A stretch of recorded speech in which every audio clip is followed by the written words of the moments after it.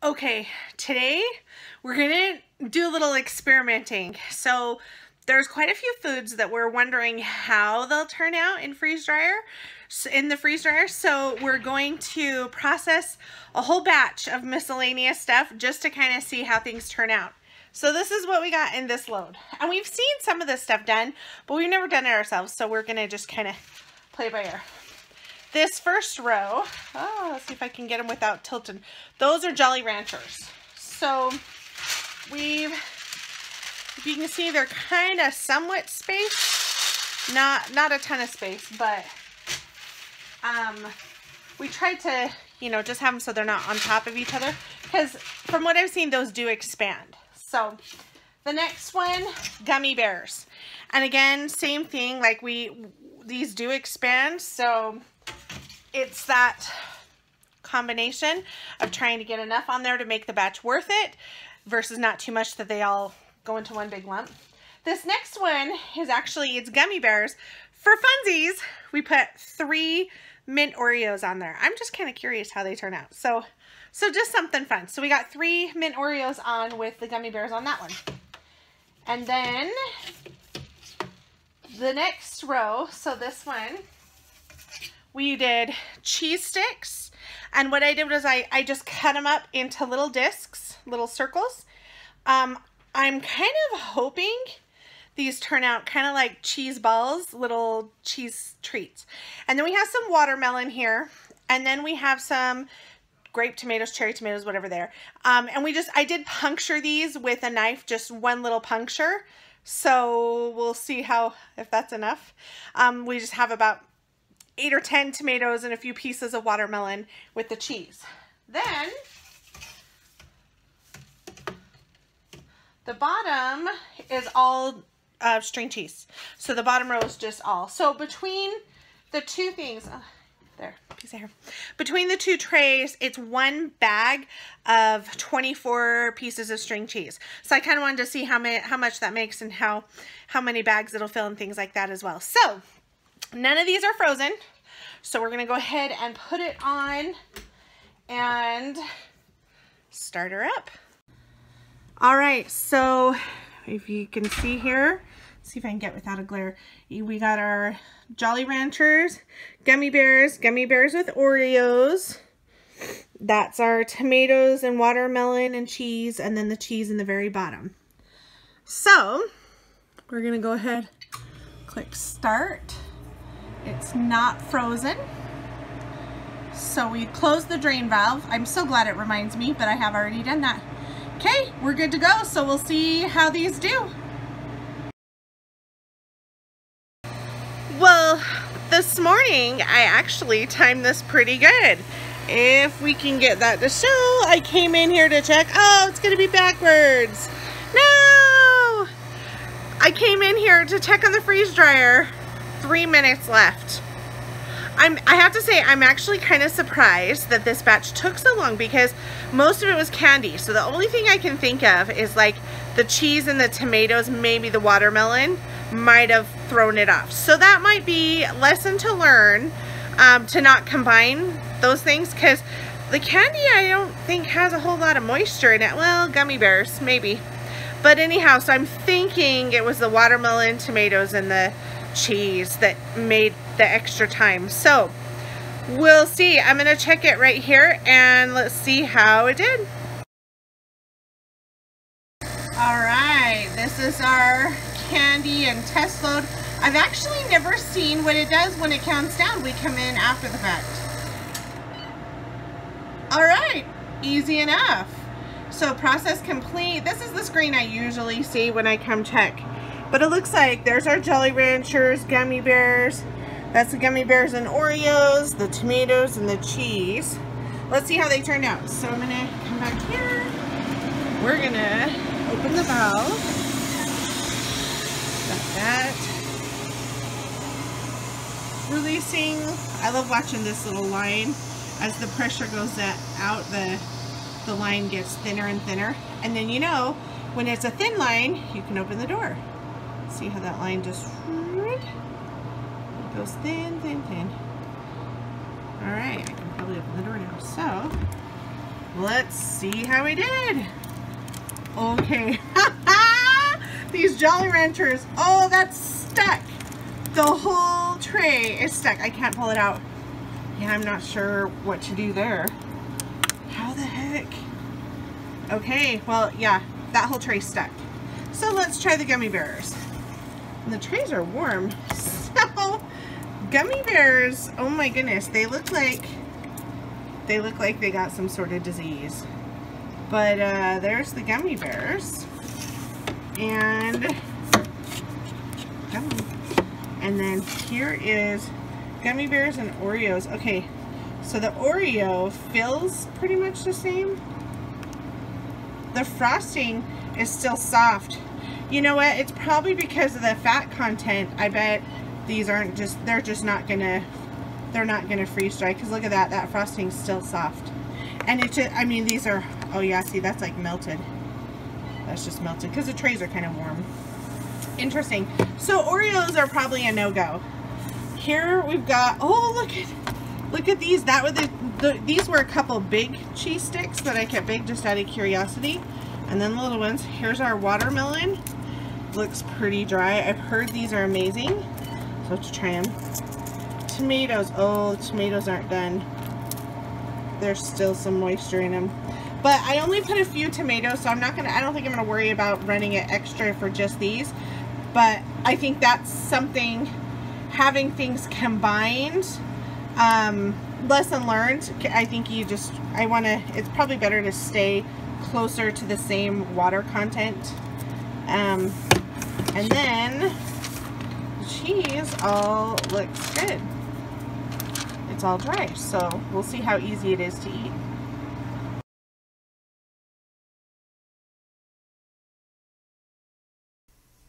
All right, so we're gonna do a review of this candy. I'm, I'm gonna say a lot of the items that we did in our test run were kind of a bust. Um, it, but learning experience. It was a learning experience, and that's okay. It's okay, and that's why we. I'm glad we did a variety of items in one batch. Otherwise, I would have been kind of bummed to have a whole batch lost, right? Okay, so let's start with probably the biz- biggest success of the batch. The gummy bears. Look at those you can you can kind of tell they're gummy bears, right? Um, now these we we needed to run the batch a little longer because they're crunchy, but they're still kind of chewy, uh, which just means they the whole batch. There was a few things like that. They looked crunchy, but then they were still chewy. So this batch needed to be run a little bit longer. But I think these these are fine. Like these turned out just fine. We we did have some a little close together, but this was probably the biggest success of the batch. Um, then there was the tomatoes. Um, again, these needed more time. Um, yeah, because they're still chewy. Now, I'm not quite sold on the tomatoes. I guess for me, I got to think of a use for them to reconstitute them, or I guess if you really like tomatoes, you can snack them. I like fresh garden ones, fresh out of the garden. And actually, ooh, I might do that this this summer. Slice some fresh gar fresh garden tomatoes, slice them, and freeze dry them so they're like chips almost. Ooh, I bet that'd be really good. But uh, these, just like the sugar off of the um, what was it? That had oh the the mandarin oranges had all the sugar bubbles come out of it. The tomatoes had that too, and I just did one little slit, so these might need to be, maybe if they got cut in half, they might be a little better. Um, so, uh, yeah, I don't know. Um, the watermelon was clearly not done enough. Like, look how it's like spongy.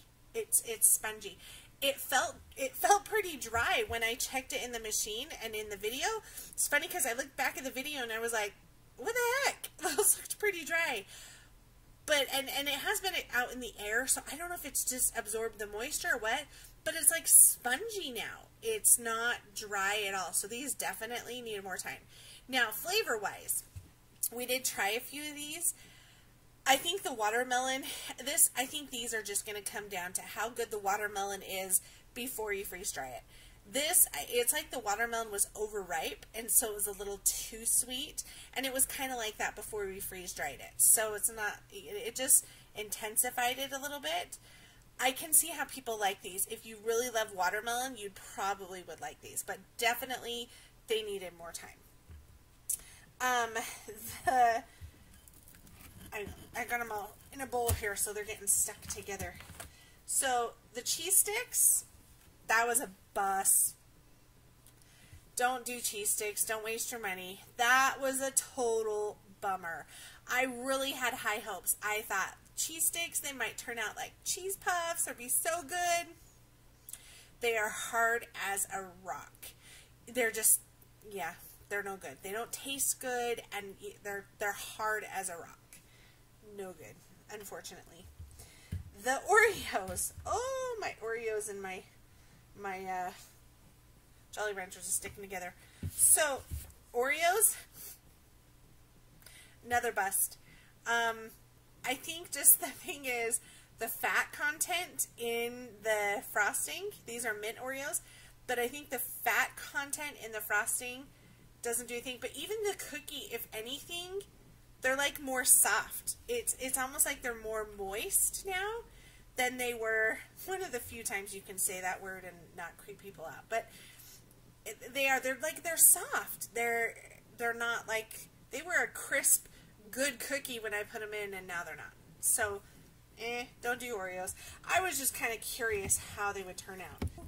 Okay, um, these Jolly Ranchers are totally sticking together. Okay, again, and they stuck to the Oreo. I'll try and hide the Oreos the Jolly Ranchers, this is, I mean, yeah. So here's the thing. Again, these needed more time. There's potential here. Now, we did them whole. We didn't cut them. Definitely, I think you need to cut them in half. I'm not quite sure how because they're Jolly Ranchers, um, unless you just break them, break them up. But so I've seen people use like cigar cutters or like um, it was like even garden clipper or something, little pruners they bought to cut Jolly Ranchers. Um, we may look into that. I don't know if it's worth it, but let me tell you, these and like if you can see them, they're super sticky, which is part of it. I think they need they need longer time. Um, normally, you suck on a Jelly Rancher, and you're getting that that whole Jelly Rancher over like the sugar and stuff off it, you're getting that over like a half hour's worth of time, right? 15 minutes, however long it takes you to suck on that Jelly Rancher, you're getting that sugar slowly. Not with these. It's like it's like a sugar slap in the face. I mean, you take one bite of these these freeze dried Jolly Ranchers, and hooey, you need a sugar high, you take a bite of these because it's that 30 minutes of sugar all in two seconds. Um, they're super strong flavor. It's kind of like Pop Rocks without the the fizz. So think of it kind of like eating Pop Rocks without the fizz, but like a hundred times the flavor. These are pretty strong. Um, and yeah, woo. Um, it doesn't even take that much and I feel like I've been second on Jelly Rancher for quite a few minutes with the amount of flavor. Um, yeah. So these have potential. They definitely need more time, and they need to be cut in half. So that's what we got from our experimental batch. Thanks for watching. Please like and subscribe. And be sure to head over to our Facebook group, Freeze Drying Adventures with What8ate, to see more posts and information. So let me see. I just shot, or I just shot Jolly Ranchers up into my hair.